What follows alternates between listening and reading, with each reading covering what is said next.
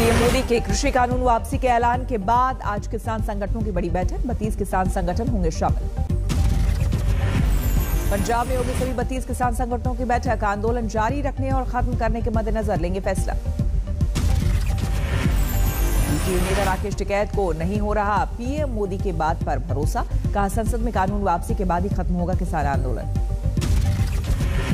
राकेश कहा कृषि कानून वापसी तो सिर्फ़ एक मुद्दा, एमएसपी कानून समेत कई मांगों पर कब होगा विचार? पीएम की शहद से मीठी भाषा के झांसे में न आए किसान नहीं क्या मिट्टी? इतनी मिट्टी भाषा का इस्तेमाल करा मतलब शहद को भी फेल कर दिया। हिलवाई क्या तत्तियाँ भी नहीं काटता। दिल्ली में गाजीपुर बॉर्डर पर आज भी डटे हैं प्रदर्शनकारी किसान राकेश टिकैत कर रहे हैं प्रदर्शन की अगुवाई। राकेश टिकैत ने किया सवाल, आंदोलनकारी किसानों पर दर्ज है दस हज़ार से ज़्यादा केस। उनका क्या होगा? बॉर्डर पर भी डटे हैं आंदोलनकारी किसान। आज बैठक में तय करेंगे भविष्य की रणनीति। पीएम मोदी के तीन कृषि कानून वापस लिए जाने के ऐलान पर फतेहाबाद में किसान शमशेर सिंह के परिजनों को संतोष। आंदोलन में गई थी शमशेर की जान। परिजनों ने मुआवजे के साथ एमएसपी पर कानून की मांग की। शिमला किसानों पर पीएम के कानून वापसी की अपील। बेअसर कहा, एमएसपी पर कानून बनने तक डटे रहेंगे। यूपी दौरे का आज दूसरा दिन। लखनऊ में डीजी कॉन्फ्रेंस में शामिल होंगे पीएम। गृह मंत्री अमित शाह ने छप्पन ऑल इंडिया डीजी कॉन्फ्रेंस में हुए थे वो शामिल। देश के तीन सर्वश्रेष्ठ थानों को गृह मंत्री अमित शाह ने किया सम्मान। अमित शाह ने दिल्ली के सदर बाज़ार थाना, उड़ीसा के गंजम ज़िले के गंगापुर और हरियाणा के फतेहाबाद के भट्टू कला थाने को दिया पुरस्कार, सौंपी ट्रॉफी। आज कांग्रेस देश भर में मना रही है किसान विजय दिवस, कथित 700 मृत किसानों के परिवार से मिलेंगे कांग्रेस के नेता।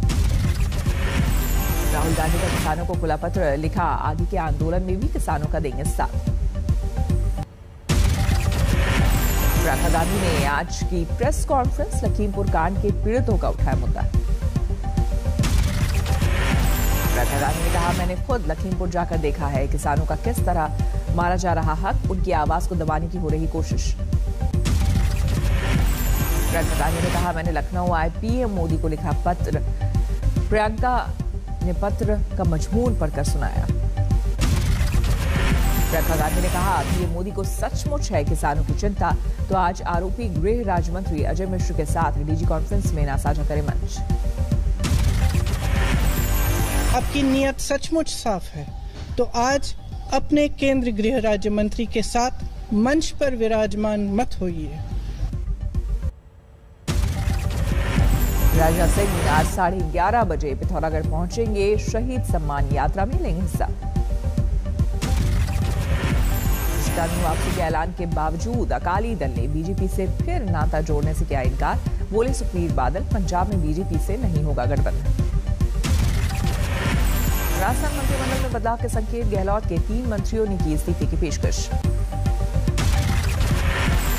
मंत्रियों की स्थिति की पेशकश के बाद मुख्यमंत्री अशोक गहलोत ने आज बुलाई मंत्रिमंडल की अहम बैठक। राजस्थान कांग्रेस प्रभारी अजय माकन कल ही जयपुर पहुँचे, मंत्रिमंडल में फेरबदल पर किया मंथन। कश्मीर में प्रकरण अनुच्छेद तीन सौ सत्तर का मुद्दा, जम्मू कश्मीर के नेताओं ने पैंतीस को दोबारा बहाल करने की मांग की है। महबूबा मुफ्ती ने पीएम मोदी के कृषि कानून वापसी के फैसले का स्वागत किया। कहा, उम्मीद है जम्मू कश्मीर में किए गए संवैधानिक बदलाव भी लिए जाएँगे वापस। सीए पर भी गरमाई सियासत। जमाते उलमाए हिंद ने सीए को वापस लेने की मांग की। पीएम मोदी के एक फैसले पर यू टर्न से विपक्षी दलों का बड़ा हौसला। आंध्र प्रदेश के पूर्व सीएम चंद्रबाबू नायडू बोले, उम्मीद है सरकार भविष्य में आंध्र प्रदेश में तीन राजधानियों के फैसले पर भी करेगी विचार। बिहार में जाति आधारित जनगणना का गरमाया मुद्दा। सीएम नीतीश जल्द बुलाएँगे। सर्वदलीय बैठक। दिल्ली समेत एनसीआर वासियों को। प्रदूषण से मुक्ति नहीं। आज राजधानी दिल्ली में खतरनाक स्तर पर प्रदूषण। एयर क्वालिटी इंडेक्स 355 के पास। दिल्ली में इंटरगेट इलाके में भी आज सुबह छाई दिखी धुंध। सुप्रीम कोर्ट की सख्ती के बावजूद जहरीले स्मॉग का नहीं निकल रहा हल। दिल्ली सीआर के। टीकरी बॉर्डर पर दिखा ज़बरदस्त प्रदूषण धुएँ की कालिक में घटी विजिबिलिटी पंजाब कांग्रेस अध्यक्ष नवजोत सिंह सिद्धू आज जाएँगे करतारपुर साहिब। आज छह महीने के लिए बंद होंगे बद्रीनाथ के कपाट। 20 क्विंटल फूलों से सजा मंदिर। जौनपुर में तीन सगी बहनों ने ट्रेन से कटकर दी जान। आर्थिक तंगी से परेशान होकर खुदकुशी। यूपी के महाराजगंज में पुजारी और पुजारी की पीट पीट कर हत्या। मंदिर परिसर में खून से लथपथ मिला लाश। बेगूसराय में कार्तिक पूर्णिमा स्नान के दौरान बड़ा हादसा, गंगा में डूबकर तीन युवकों की मौत। मध्य प्रदेश के रेवाड़ी में आपे से बाहर आए थाना प्रभारी, सब्ज़ी बेचने वालों पर जमकर भांजी लाठियाँ। हापुड़ में हाईवे पर संदिग्ध हालत में लाश मिलने से हड़कम दोस्तों के साथ गढ़ में स्नान के लिए जा रहा था युवक।